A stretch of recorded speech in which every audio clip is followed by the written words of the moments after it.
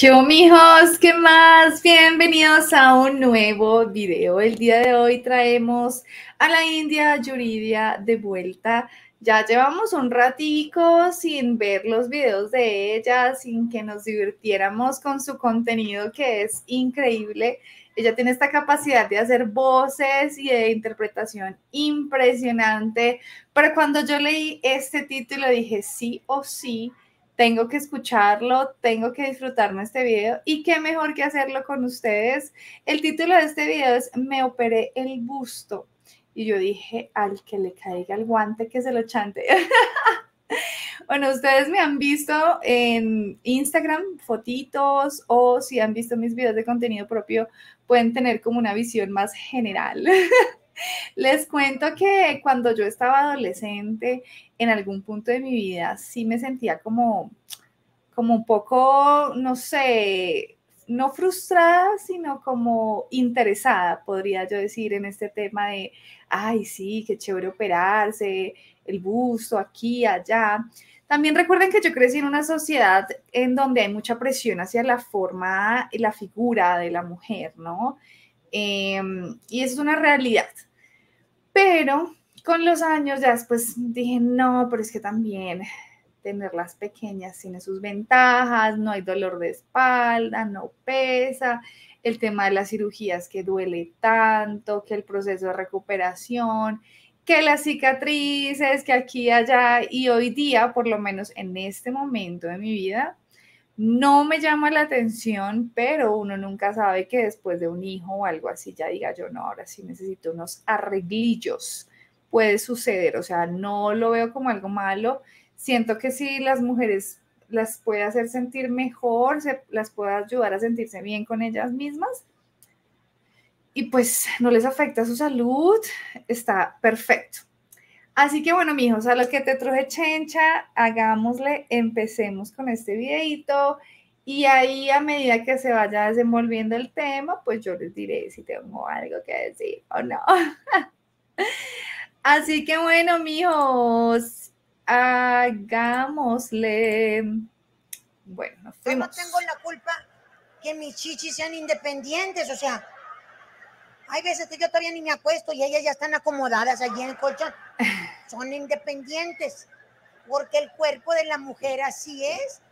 La verdad, o sea, las chichis sí son mejores que los hombres, así de fácil. Ahí te va, o sea, al, hombre, eh, o sea, allá, en su aquellín.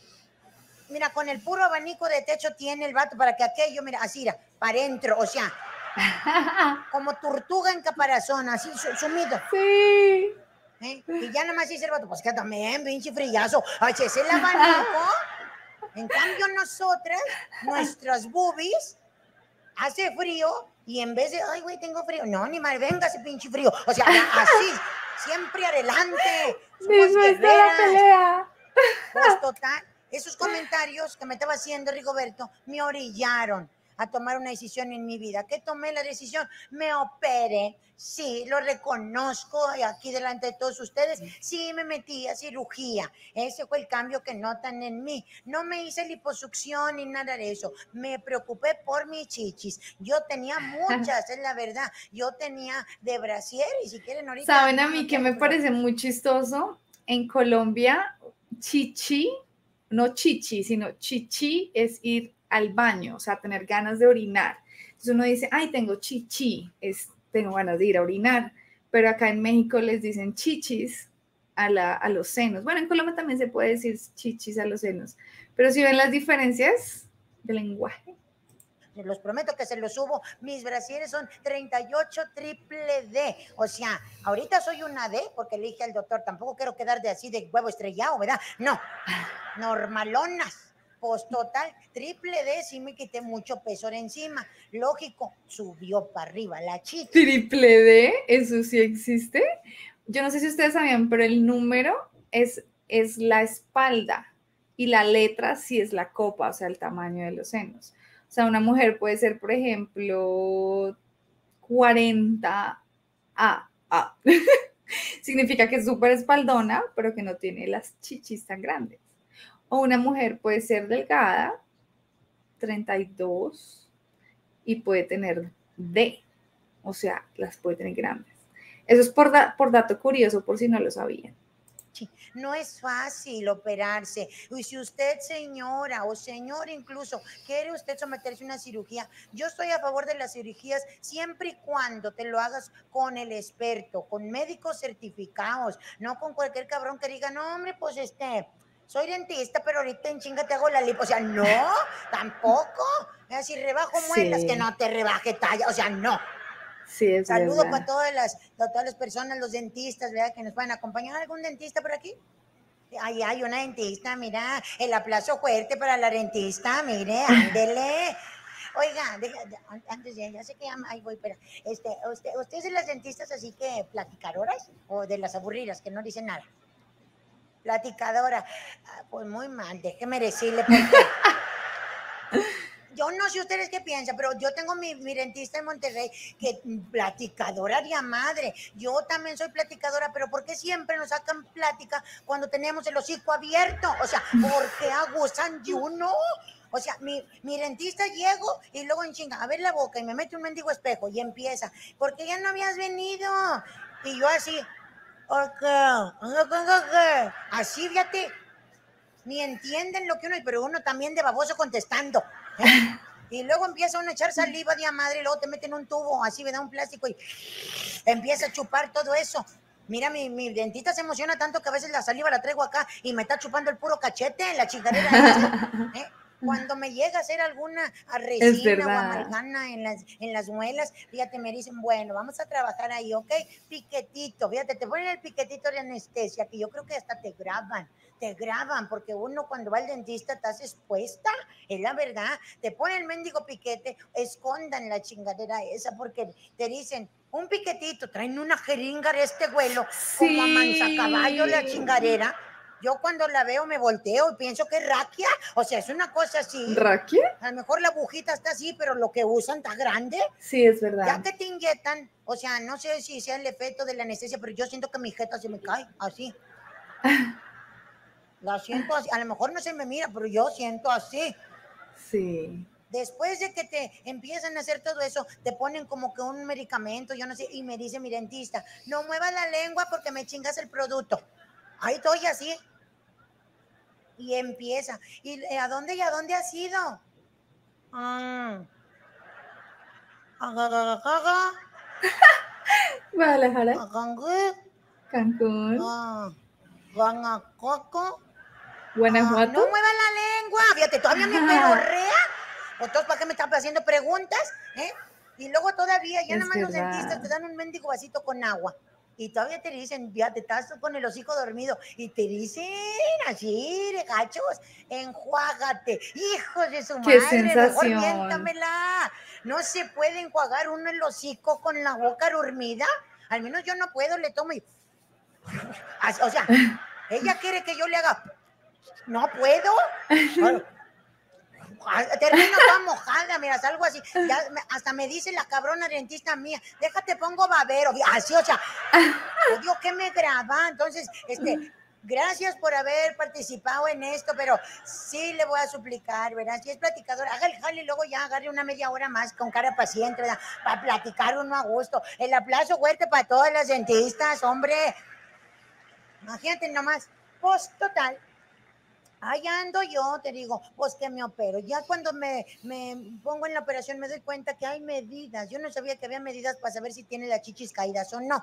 Sí las hay. A mí me las dijo el cirujano, eh, pero yo se las paso a ustedes para que vayan midiéndose, ¿verdad? No es mal, nada malo.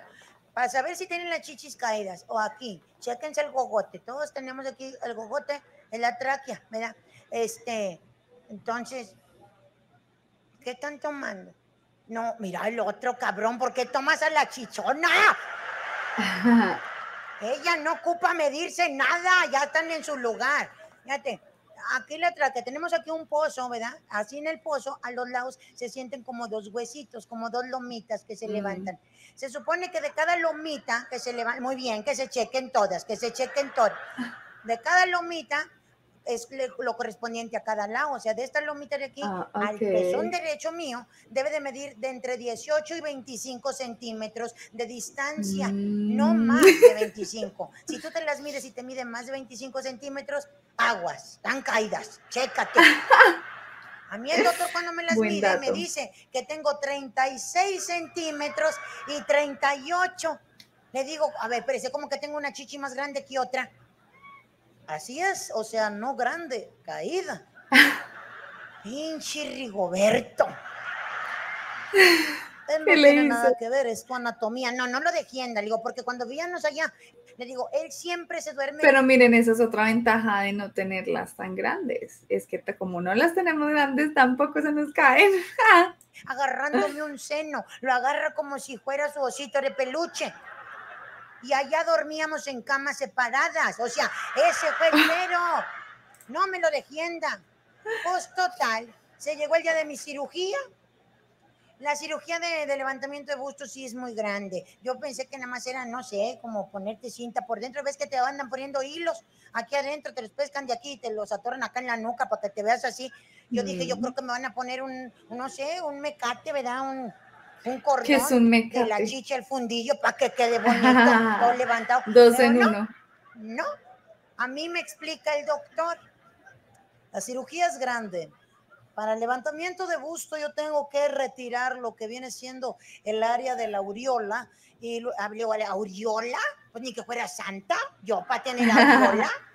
O sea, aureola es este, vaya, el- lo rosita que está alrededor del pezón. Digo, a ver, doctor, si usted me va a operar, quiero que nos tengamos confianza y nos hablemos con la verdad. Rosita, ¿yo? Yo no soy güera, doctor. O sea, a mí dígame, yo sé lo que traigo. O sea, a mí dígame la verdad, dígame la tapa de Nescafé, así como va. Yo no me le voy a ofender.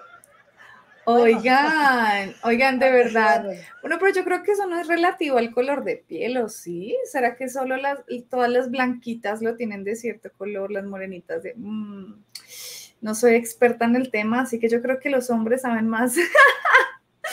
los hombres saben más del tema que las mismas mujeres, porque los hombres han visto más mujeres que nosotros las mujeres.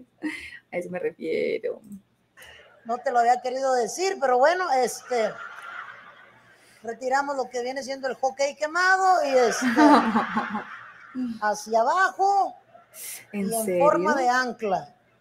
Abrimos, retiramos todo lo que es la glándula mamaria, la grasa Y eso extra, suena retiramos tenaz. lo que es la piel colgante, cosemos y eso da efecto push-up. ¿Te parece bien?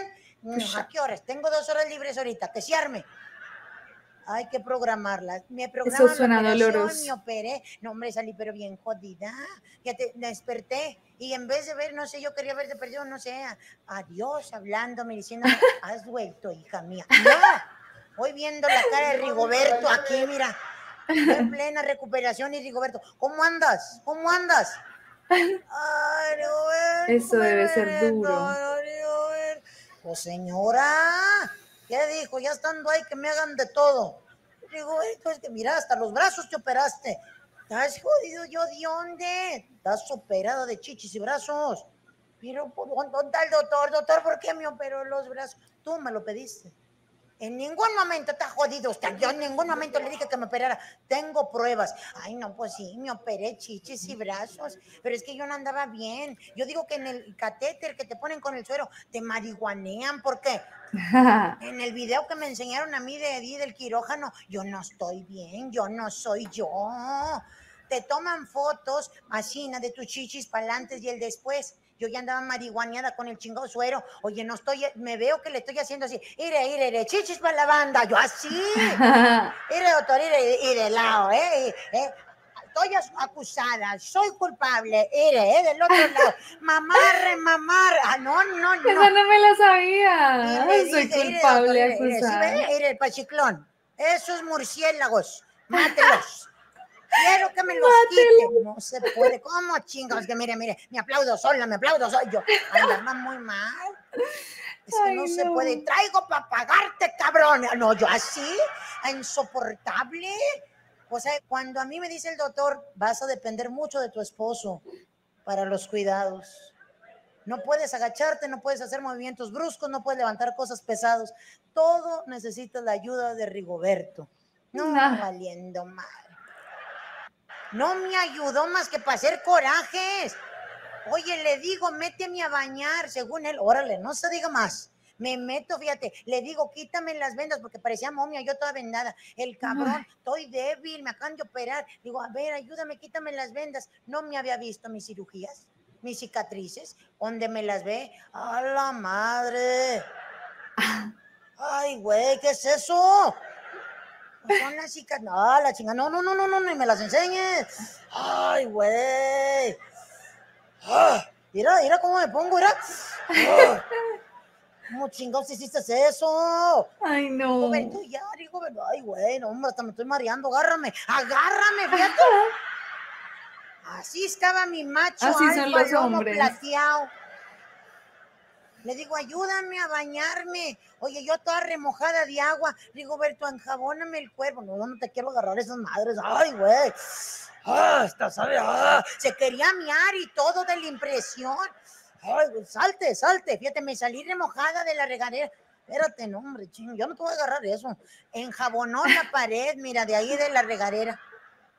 La escuadrita que se hace y me dice, métete, date vueltas, ay. Fíjate, así me enjaboné, a la vuelta y Oh. vuelta. Y luego todavía le digo, Rigoberto, ayúdame a tallarme todo. Por eso, ¿qué hago? El cabello, mira, los talladillos que me estaba haciendo así. Las mujeres nos tallamos a conciencia. No, Rigoberto, así, pero porque no me dejaba de ver las cicatrices. Hombre, mira. Ay, güey. Oye, yo a ti ya no te vuelvo a tocar porque. No, cuando nos toque tener intimidad, te pones blusa o algo porque vas a sentir que me estoy chingando a Frankenstein. Ya, así, mira, a la Ay, joder, joder, baboso.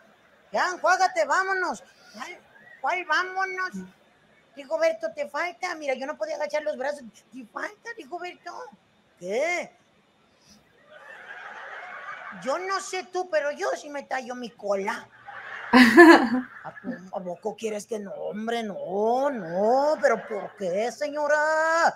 Ay, güey, ¿cómo te voy a tallar la cola yo? No sé. Ahora resulta que no sabe. Ay, ahora no. Pues sí, es su especialidad. Como cuando no hay jabón ni agua, bien que sabe. Ahora que tenía todo, no supo. Hasta me dijo, a ver, es que ayúdame, abre las patas. Así, mira, más, más, me voy a caer a chingar. Digo, agáchate, no me puedo agachar. No, o sea, agáchate así, facilítame. Fíjate, pues ahí estoy yo así. Yo pensé que iba a agarrar el estropajo para tallarle macizo. No, se sintió albañil de media cuchara. Agarró el jabón líquido y me dijo, así quédate, así que es de volado este pedo, ¿eh? Ahí va. Se lo echó en la palma, en la mano y listo. Ahí va, ahí vamos, ¿listos? Ahí va, una, dos, tres. Así, mira, hijo de tu madre. Me zarpió las el Albañil, como cuando están pañetando. con una fuerza que hasta me supo en el hocico. Hasta acá me llegó el jabón. Ay, Hasta yo no. repetí salían burbujas, oye, imagínate. Cuando me estaba echando crema en el cuerpo, le digo, por favor, échame en la espalda y en las piernas, que tengo resequedad. Hombre, lo que ¿para qué te haces esas madres? Mira nomás. A mí nunca me dijiste que si yo estaba dispuesto a esto, hombre. Ah. Mira, tengo mi carro 2019 y aquí estoy en chinga encerrando un bocho. Fíjate, ¿por qué son así? Porque los vatos-. Oigan, oigan, Yo no oigan, tengo la oigan. Bueno, hablemos de este tema de las cirugías. Yo creo que a veces en las redes sociales idealizan mucho ese tema, ¿no? De, ay, sí, te operas y ya quedas divina, perfecta. Pues no, no es tan fácil. Si nada más cuando a uno le ha tocado hacerse cositas por cuestiones médicas, no estéticas, es durísimo el tema. ¿Cómo será someterse a, ni siquiera la anestesia, que también da miedo porque muchas mujeres, hombres, personas en general han muerto durante la anestesia? Pero bueno, digamos que ese es el momento menos peor porque uno está inconsciente, pero cuando se despierta y está ese dolor y ese proceso de recuperación y dices, no, durísimo. Y además de eso, te queda una cicatriz brutal, súper complicado. Entonces, yo sí he podido ver mujeres eh, cuando les queda su cicatriz de las cirugías, ¿no? Por ejemplo, de aumento de senos o de las lipo, de la lipo. Y uno dice, ay Dios mío, eso debe doler mucho. Entonces yo creo que definitivamente sí ese es más el tema que a uno como mujer le genera un poco de, ah, qué fuerte, duro. Pero como les digo, o sea, uno nunca sabe. Yo, yo soy de las que pienso que nunca digas nunca y pues de pronto en el futuro sí les estaré contando eh, mi experiencia en alguna de las cirugías que decida hacerme. Puede ser, por ejemplo, la nariz, me gustaría también, pero también he escuchado que algunas quedan mal, que no, que no pueden respirar bien y entonces como que, ah.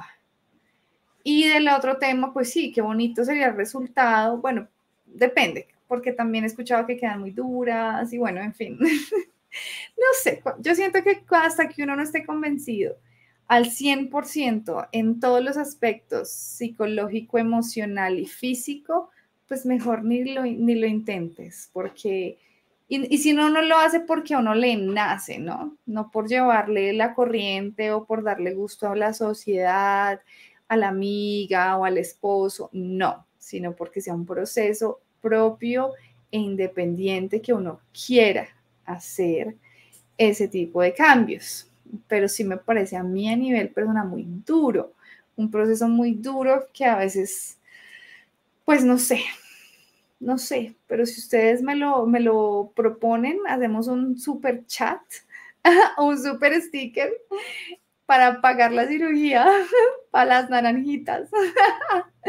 si yo me la hiciera también sería un tamaño muy normal, no me pondría algo extravagante. Por el tema también del dolor de espalda, de manejar ese tema, también debe ser raro como acostumbrarse.